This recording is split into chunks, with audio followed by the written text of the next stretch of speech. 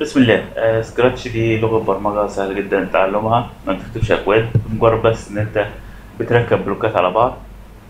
نقدر نشوف إزاي نكتب مثلا حروف معينة ونتعامل معاها. وليكن مثلا حرف ال A. وبعد كده حرف ال B.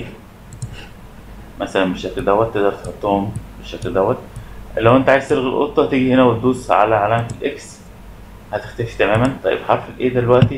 أنا عايزه أول ما أبدأ أدوس على علامة تشغيل. يبدأ مثلا يعمل لي صوت بالشكل دوت تمام؟